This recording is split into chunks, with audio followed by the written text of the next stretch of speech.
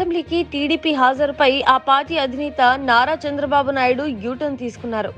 నిన్నటి మొన్నటి వరకు అసెంబ్లీ సమావేశాలను బహిష్కరిస్తున్నట్టు ఊదరగొట్టిన టీడీపీ తాజాగా నిర్ణయాన్ని మార్చుకోవడం చర్చనీయాంశమైంది.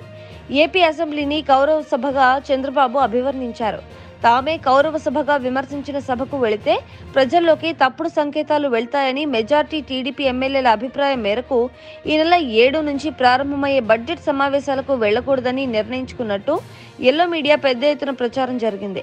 అయితే ఇవాళ చంద్రబాబు అధ్యక్షతన నిర్వహించిన వర్చువల్ సమావేశంలో టీడీపీ శాసనసభ పక్షం కీలక నిర్ణయం తీసుకుంది. చంద్రబాబు మినహా మిగిలిన ఎమ్మెల్యేలు ఎమ్మెల్సీలు అసెంబ్లీ మండలి సమావేశాలకు వెళ్ళాలని నిర్ణయం తీసుకోవడం విశేషం. రాష్ట్ర ఆర్థిక పరిస్థితి దృష్ట్యా బడ్జెట్ సమావేశాలకు వెళ్ళాలని చర్చలో పాల్గొనాలని సీనియర్ నేత యనమల రామకృష్ణుడి సూచనతో మిగిలిన సభ్యులు ఏకీభవించినట్లు సమాచారం. ఈ నేపథ్యంలో చట్టసభల సమావేశాలకు టీడీపీ ఎమ్మెల్యేలు ఎమ్మెల్సీల హాజరుపై ఉత్కంఠకు తెరపడింది.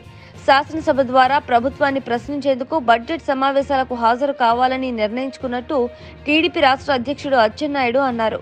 వర్చువల్ సమావేశం అనంతరం ఆయన మీడియాతో మాట్లాడారు. అసెంబ్లీకి రాకుండా పారిపోతున్నామని అధికార పార్టీ నేతలు విమర్శిస్తున్నారని చెప్పారు. గతంలో కీలక బిల్లులపై విపక్షాలపై చర్చించేవాళ్ళన్నారు కానీ ఇప్పుడు ఆ పరిస్థితి లేదన్నారు. గత మూడేళ్ళలో విపక్షాలతో ప్రభుత్వం చర్చించకుండా నిర్ణయాలు తీసుకుంటోందన్నారు.